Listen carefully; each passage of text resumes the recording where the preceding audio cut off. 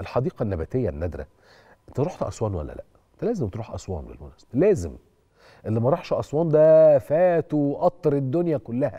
أسوان دي من أجمل وأحلى وأبهى وأبهج وأمتع وأجمل بقاع العالم دون أي مبالغة. ولما تروح أسوان وما تروحش الحديقة النباتية فاتك الكتير بقى.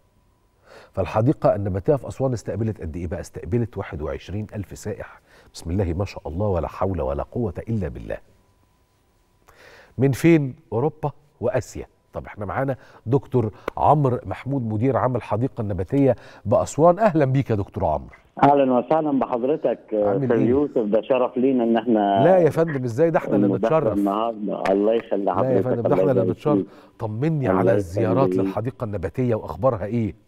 الحمد لله الموسم ده كان جميل جدا واستقبلنا زيارات من كل بقاع الدنيا زي ما إحنا بنقول ساحرة الجنوب عاصمة الشباب العربي الأفريقي آه، أسوان وفي جزيرة النباتات أو الحديقة النباتية بأسوان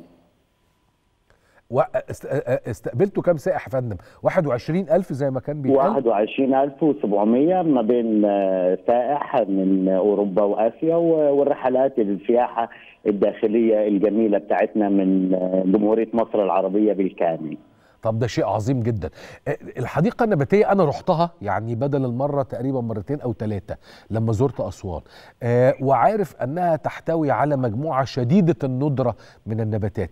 السؤال اللي ممكن قد يسأله البعض بالذات من الأجيال بتاعة الولاد الصغيرين.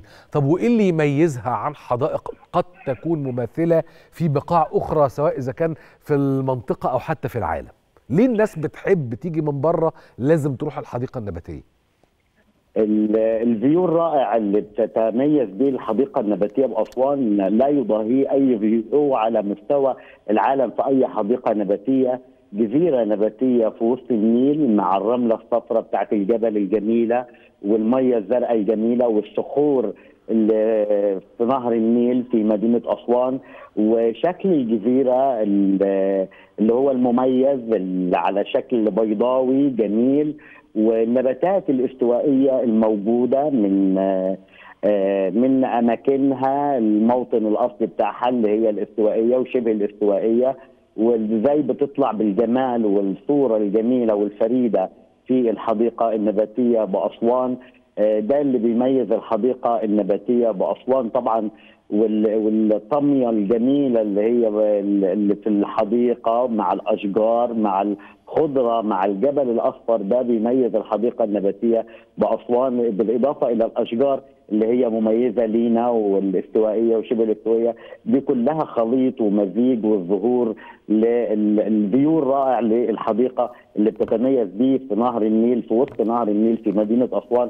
ده لا يضاهيه أي حديقة نباتية عالمية حتى لو كان فيها برضو كمية نباتات زي كمية النباتات الموجودة عندنا 820 نوع نباتي من أندر وأجمل آه، وأزهى أنواع النباتية الموجودة على مستوى العالم هل لازالت هناك بعض النباتات آه، غير موجودة في حديقتنا النباتية ونستطيع استجلابها وزراعتها في الحديقة بتاعتنا؟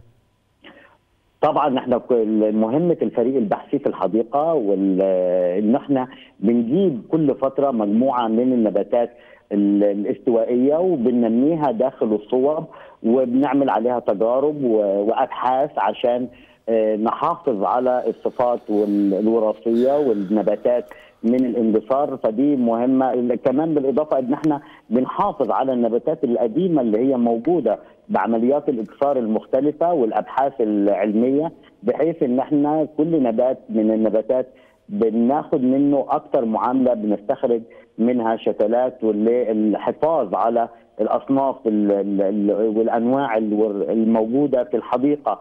وبنزرعها طبعا بعد ما بننميها بنزرعها في أرض الحديقة النباتية بحيث إن إحنا نحافظ على الأنواع القديمة ونجيب أيضا أنواع جديدة برضو نزرعها في الحديقة. لغاية ما وصلنا ل 820 نوع نباتي وفي طريقنا إن شاء الله لجلب نباتات أخرى لإكثارها في الحديقة. آه، طبعا عشان نزود عدد النباتات الموجودة بالإضافة ان إحنا عندنا متحف نباتي وبنك للبذور. وطبعا البنك البذور ده ملحق به معشبة اللي هي بالمعشبه اللي هي الحفاظ على النبات وكل المعلومات الأساسية على هذا النبات، طبعا الثورة العلمية الكبيرة في الطب والعقاقير اللي بيستخدموها الدارسين والباحثين من شتى أنحاء جمهورية مصر العربية يعني كان شغلنا كثير مع كلية الزراعة في الأبحاث وكلية علوم حاليا كلية صيدلة طاقة هذه كلية الزراعة وكلية العلوم عشان يستخرجوا العقاقير والمواد الطبية من الأشجار الموجودة والاستفادة الكاملة منها. بإذن الله أنا أشكرك جدا يا دكتور كل الشكر دكتور عمرو محمود مدير عام الحديقة النباتية في أسوان